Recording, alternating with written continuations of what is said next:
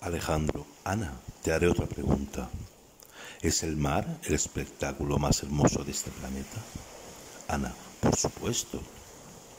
Alejandro, qué bien paso el tiempo persiguiendo nubes en el cielo. En ellas puedo observar diversas formas y volúmenes. Con el dedo índice puedo dibujar siluetas y lo más bonito, que las nubes diferentes formas harán proclamando los derechos de la libertad. También levantar múltiples esculturas en la arena, escribir mi nombre, Alejandro, al lado el tuyo, Ana, y en medio dibujar un corazón.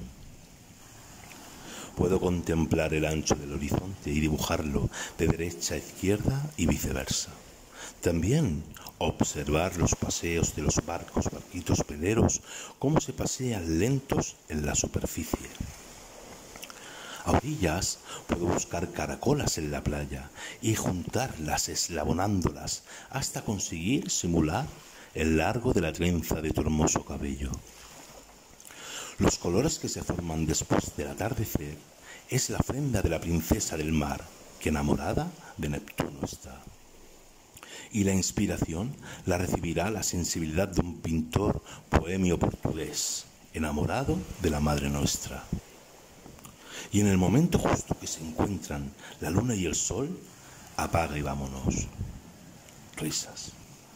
Ana, ¿es el mar el espectáculo más hermoso de este mundo? Ana, somos hijos del mar, Alejandro. Sin lugar a dudas, somos sus hijos. Todo ser humano busca contacto con él y el que lo repudia antes de fallecer volverá a él.